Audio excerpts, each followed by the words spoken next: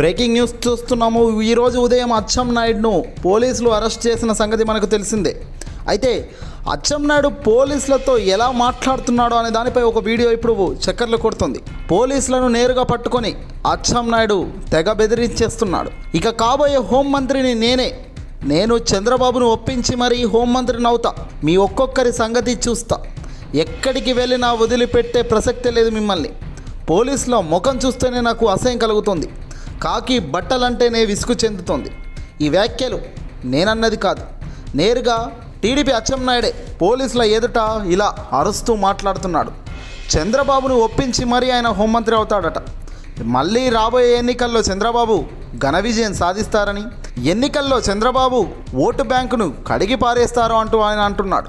తప్పుడు కేసులు పెడుతున్న పోలీసులను ఎక్కడున్నా విడిచిపెట్టేది లేదు అంటూ అచ్చెన్నాయుడు ఫైర్ అయ్యారు. నేను నాయకులను కాదు పోలీసులను తప్పుపడుతున్నా.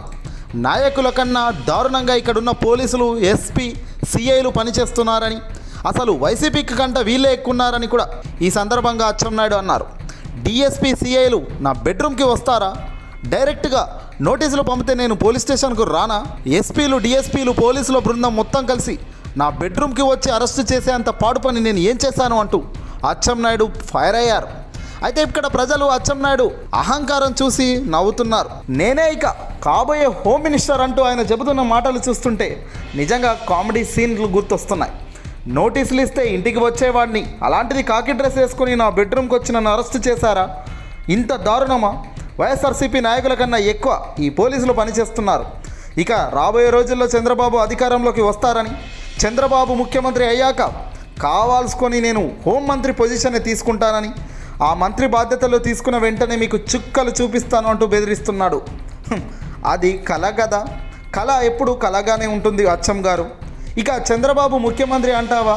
అది జరిగే పనేనా? మీరే కామెంట్ చేయండి. అన్నట్టు ముందు ఆ విజువల్ చూడండి. అచ్చం నాయుడు ఎంత ఫైర్ అయ్యారో చూసి నవ్వుకోండి. అలాగే ఈ వీడియో చూశాక కామెంట్ చేయండి. అక్రమ కేసులు. అసలు ఈ కేసులో నాకు సంబంధం ఏంటుంది నేను నా ఇంట్లో ఉంటే జరిగినటువంటి సంఘటన నాకు కనీసం తెలియకపోతే నా మీద కేసు పెట్టి వీళ్ళు అరెస్ట్ చేస్తున్నారు. ఈ రోజు కేసులకు భయపడే వ్యక్తి కాదు. నేను ఛాలెంజ్ చేస్తున్నాను. తగిన మూల్యం చెల్లిస్తాడు పోలీసులు నేను రాజకీయ నాయకుల్ని తప్పుపట్టను. పోలీసులు ఇంత దారుణంగా.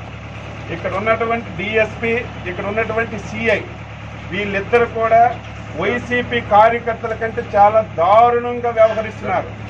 నేను మళ్ళీ మళ్ళీ ఛాలెంజ్ చేస్తున్నాను. రేపు అధికారంలోకి మేమే వస్తాం. రేపు అధికారంలోకి మేమే వస్తాం. నేను చంద్రబాబు నాయుడికి చెప్పి హోమ్ మినిస్టర్ నేనే తీసుకుంటాను. హోమ్ మినిస్టర్ నేనే తీసుకుంటాను. ఎవరైతే ఈరోజు పోలీసులు తప్పుడు కేసులు పెడుతున్నారో మీరు ఎక్కడున్నా విడిచిపెట్టిన ప్రశ్న లేదు. మీరు ఎక్కడున్నా విడిచిపెట్టిన ప్రశ్న లేదు. అసలు కాకి డ్రెస్ అంటే అసహ్యం వేస్తుంది. అసలు కాకి డ్రెస్ అంటే అసహ్యం వేస్తుంది. ఈ రాష్ట్రంలో కాకి డ్రెస్ చేసుకున్నటువంటి ఎవరైతే మిగతా ఉద్యోగులు ఉన్నారో సిగ్గుపడుతున్నారు. కాబట్టి దీన్ని తీవ్రంగా